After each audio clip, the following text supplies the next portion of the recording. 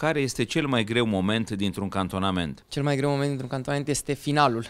Sunt cele mai grele zile, cum suntem și acum, mai avem două zile și este destul de greu. Din punctul meu de vedere, cel mai greu moment dintr-un cantonament este finalul. În ce alt sport crezi că ai fi putut face performanță? Mie îmi place foarte mult tenisul și cred că dacă n-aș fi ales fotbalul, cu siguranță aș fi jucat tenis. Cred că aș fi putut să fac performanță în basket, pentru că eu am o detentă foarte bună și o viteză de deplasare la fel de bună și cred că basketul ar fi fost uh, potrivit pentru mine. Spune-mi o pasiune de-a ta extrasportivă. Cred că pot să spun serialele. Îmi place foarte mult să mă uit la seriale mai ales cele turcești. În uh, timpul meu liber eu scriu poezii, surprinzător pentru un uh, fotbalist.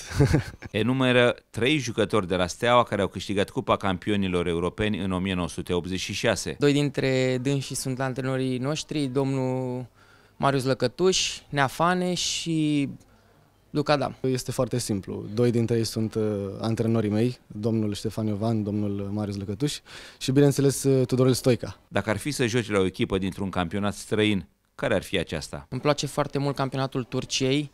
Sunt fan Galatasaray și mi-aș dori să joc la Galata.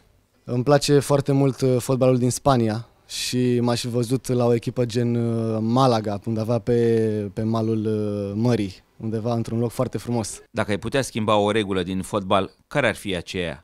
Nu știu dacă aș schimba vreo regulă din fotbal, dar l-aș lăsa puțin mai dur. Offside-ul, pentru că aș, fi, aș, fi, aș scăpa mai repede spre poartă.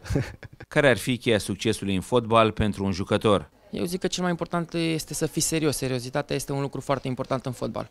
Uh, din punctul meu de vedere, cheia succesului în fotbal este atitudinea și, în primul și în al doilea rând, educația. Ce este pentru tine fericirea? Familia. Totul. Transmite un mesaj suporterilor steliști. Vă mulțumim frumos pentru susținere, abia aștept să ne revedem de săptămâna viitoare și să ducem împreună Steaua acolo unde este locul. Forța Steaua! Pe această cale, noi, dragi suporteri, vă iubim, împreună suntem Steaua, pentru tot vă mulțumim!